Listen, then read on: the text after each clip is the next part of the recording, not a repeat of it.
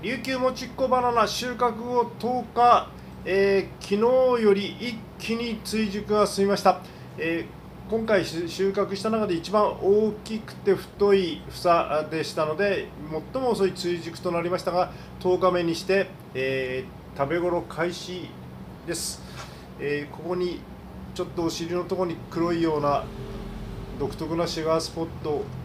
これが食べ頃開始サインです。身も柔らかくなってきましたし、えー、香りも相当ここにいるともバナナの香りがこう漂ってくる感じです。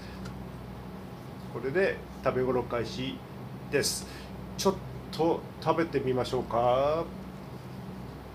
このこの辺がいいかな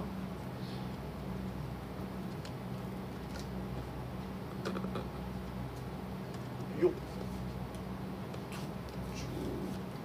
とこんな感じで。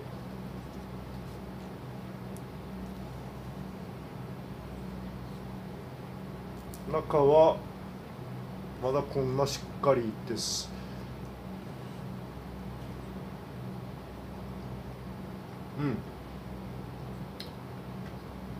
うん。もちもちしてて甘みも相当乗ってます。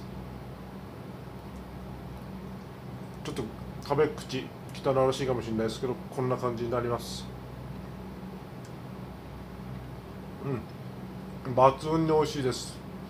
これで食べ頃開始でまああとこのまま1日2日置いても何でも問題なく食べ頃になっておると思います。それともう一つ、えー、この霜膨れになっている房種が入ってるんじゃないかなと予想してますけれどもちょっと切ってみましょう。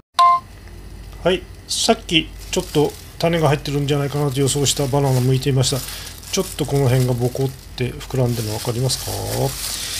ちょちょっと切ってみましょうか。上の方から。こ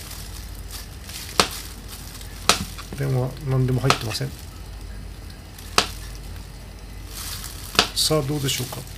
おこんな感じです。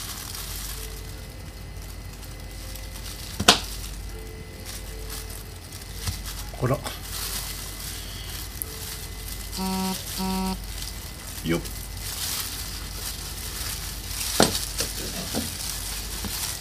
はいこんな感じで。種が入ってます。はい。はいいいですよ